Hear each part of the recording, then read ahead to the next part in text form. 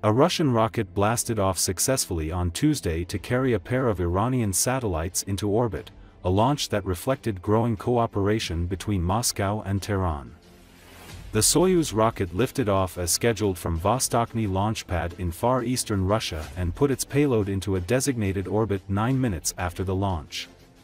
It was carrying two Russian Ionosphere M Earth observation satellites and several dozen smaller satellites, including the two Iranian ones. Iran's two satellites, named Kowsar and Hodhod, were the first launched on behalf of the country's private sector.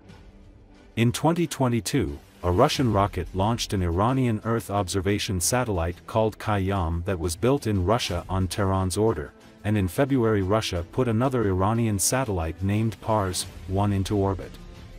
Tuesday's launch comes as Russia and Iran have expanded ties in various spheres. Ukraine and the West have accused Tehran of providing Moscow with hundreds of exploding drones for use on the battlefield in Ukraine and helped launch their production in Russia. The Iranian drone deliveries, which Moscow and Tehran have denied, have allowed for a constant barrage of long-range drone strikes at Ukraine's infrastructure. Moscow and Tehran are planning to further bolster their ties with a comprehensive strategic partnership that is set to be signed during Iranian President Masoud Pezeshkian's planned visit to Russia. The date for that visit hasn't been set yet, but the Kremlin said it could happen soon.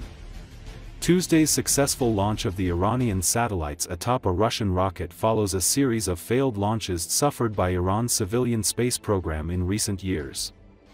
There have been five failed launches in a row for the Simorgh program, a satellite-carrying rocket. A fire at the Imam Khomeini spaceport in February 2019 killed three researchers, authorities said at the time. A launchpad rocket explosion later that year drew the attention of then-President Donald Trump, who taunted Iran with a tweet showing what appeared to be a U.S. surveillance photo of the site. At the same time, a separate Iranian space program run by the country's paramilitary Revolutionary Guard has seen successful launches from a military base outside of Shahroud, some 350 kilometers east of the capital, Tehran. However, satellite images analyzed by the Associated Press show Israel likely bombed the site during its October 26 retaliatory strike on Iran. The U.S. intelligence community's worldwide threat assessment this year said Iran's development of satellite launch vehicles would shorten the timeline for Iran to develop an intercontinental ballistic missile because it uses similar technology. Зажигание. Предварительное.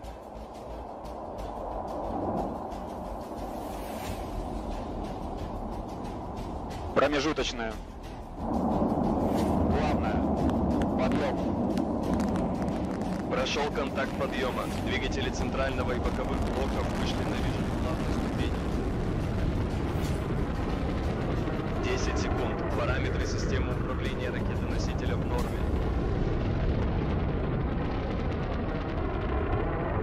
20 секунд. Двигатели первой и второй ступени работают нормально.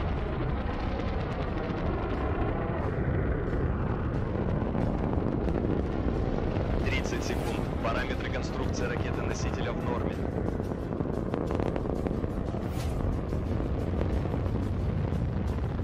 40 секунд. Стабилизация изделия устойчивая.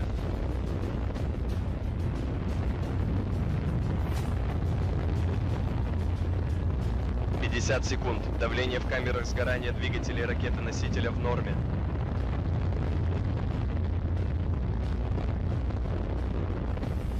Шестьдесят секунд. Полет нормальный.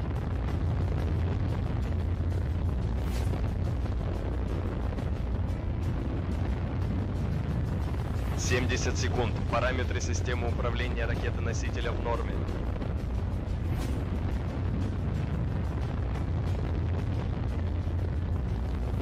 Восемьдесят секунд. Стабилизация изделия устойчивая.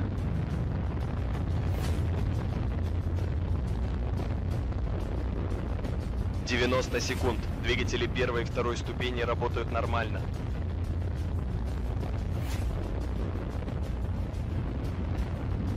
100 секунд. Параметры конструкции ракеты-носителя в норме.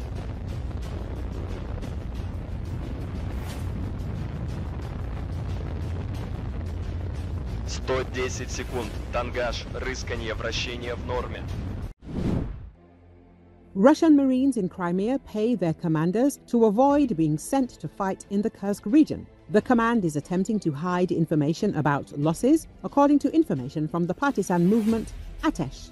An agent from the 810th Marine Brigade reports that at the unit's permanent station in Sevastopol, personnel issues are arising due to most of the personnel being sent to the Kursk region. The message reads According to partisans, almost daily reports are received about new killed in action from the Kursk region, and the brigade's command is trying to hide the facts of military deaths, although, as expected, without success. The soldiers in the unit are in low morale due to the constant deaths of their comrades and are trying in every possible way to remain in Crimea. As a result, some commanders are demanding bribes from subordinates to grant a delay and avoid urgent deployment to the combat zone.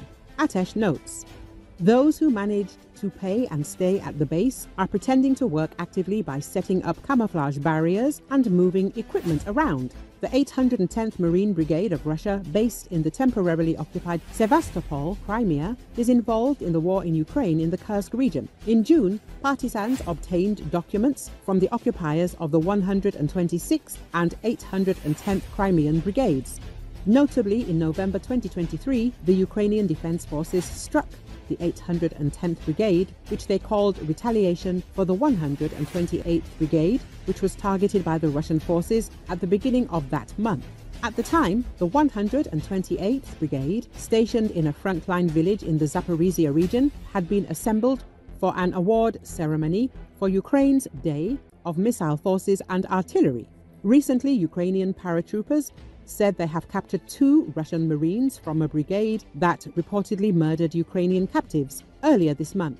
Kiev said the 155th Independent Marine Brigade of the Russian Pacific Fleet was seen in drone footage shooting dead Ukrainian captives following an attack on Ukrainian drone operators on October the 10th a retaliatory attack in Kursk between the warriors of the 95th Brigade of the DSHV, the Ukrainian Air Defense Forces, and the Russian Marines resulted in the surrender of two Russian prisoners, according to a Facebook post made by the airborne assault troops of the Armed Forces of Ukraine.